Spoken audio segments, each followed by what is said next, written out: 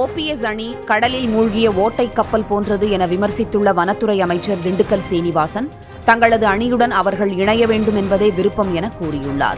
கொடைக்கானலில் நடைபெற்ற கட்சியின் செயல் வீரர்கள் கூட்டத்திற்கு பின் செய்தியாளர்களிடம் பேசிய திண்டுக்கல் சீனிவாசன் உத்தரப்பிரதேசத்தில் முலாயம் சிங் அகிலேஷ் யாதவ் பிரிந்து நின்றபோது அகிலேஷ் யாதவுக்கு கட்சி சின்னம் கிடைத்தது போல தங்களது அணிக்கும் இரட்டை இலை சின்னம் கிடைக்கும் என்றார்.